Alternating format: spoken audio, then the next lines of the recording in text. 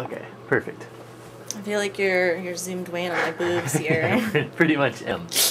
That's all right. Though. Uh, we're rolling. Hello, world of the internet. Uh, my name is Fedora, and I made two 2012 calendars this year, and I am going to give you a sneak peek. So if you don't want any spoilers, get the fuck out now. All right. So this is Belly Boys. It features a bunch of fat tattoo artists from around the country. They're all awesome dudes. They're all hella sexy.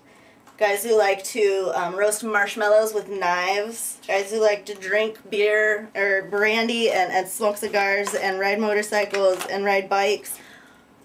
Tony Mitchell, no you didn't. Like America? Me too. Like guys who make bikes? Me too. Like guys maybe who like to smoke cigarettes and eat stroganoff. Or backyard wrestle with nothing but their hand warmers. How about how about Harold? He's a weirdo, self-proclaimed. Danny broke his board while we were skating, and that's what happens when you hang with fat boys. Okay, now this is the second calendar. It's called The Strongest Women I Know. And I know more than 15 strong women, but this is an awesome collection of, yet again, really beautiful, talented artists, except these girls are naked. There's so much naked in this, I can't show you all that much here. Um, you can get an awesome preview on Etsy, but um, so these ladies are um, entrepreneurs, right? They're smart. They run their own business. They're mothers. They're wives. They're they're traveling. Uh, re- they're ah, fucking traveling sideshows even.